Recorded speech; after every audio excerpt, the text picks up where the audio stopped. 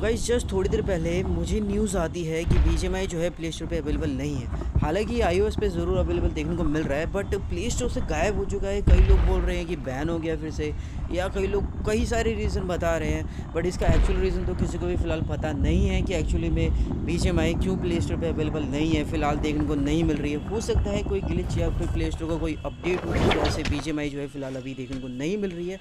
But मैं आप लोगों को दिखा देता हूँ, जैसे कि मैंने भी एक शॉर्टी के लिए चेक किया गया सच में बी आई प्ले स्टोर से गायब हो गई है। क्या सच में ये न्यूज़ सही है या गलत है? तो इसके लिए मैं अपने प्ले स्टोर पर गया और मैंने यहाँ पर सर्च किया पबजी पबजी करो या बी करो, आ जाता है। बट यहाँ पर जो है, नहीं आ रहा था। बिल्कुल भी मैं स्क्रॉल डाउन करके देखे जा रहा था बार बार नहीं आ रहा था। फिर इसके बाद मेरे पास एक तरीका और था, मैनेज ऐप एंड डिवाइस पे गया मैं, मैनेज करने पे गया। यहाँ पे मैंने देखा कि मेरी गेम इंस्टॉल है चल ग्यारह जी का। है पर जैसे ही मैं गेम पे टैप कर रहा हूँ, देखने के लिए कि उस पेज पर गूगल प्ले स्टोर के पेज पर किसी तरह से बी दिख जाए, पर यहाँ पर ट्राई अगेन का ऑप्शन बार बार आया जा रहा है।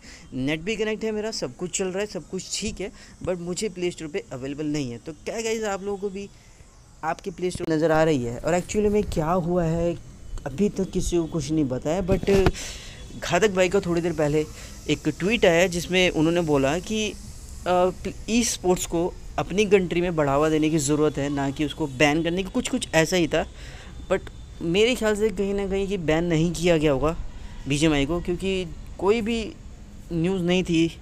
और मुझे कसम से मुझे भी अच्छा फील नहीं हो रहा है, जो भी ये हो रहा है बी को ले करके क्योंकि अभी अभी जस्ट एक साल कंप्लीट हुए थे बी को प्ले स्टोर पे आए हुए इंडिया के अंदर वापस आए हुए और अगर फिर से ऐसा कुछ होता है तो कई फिर से हमको कुछ ना कुछ और दूसरा वी पी एन है फिर कोई ना कोई तरीका करके खेलना तो पड़ेगा, क्योंकि आप सबको पता है कि जस्ट एक बी अपना लव है।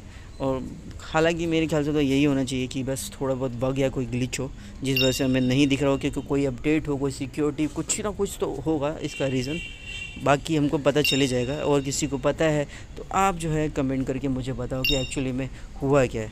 एंड गाइस अगर वीडियो पसंद आए तो लाइक करो। इन्फॉर्मेशन अच्छी लगी हो तो सब्सक्राइब कर लेना चैनल को। मिलते हैं ऐसे ही किसी वीडियो पे। फ़िलहाल के लिए बाय गुड डे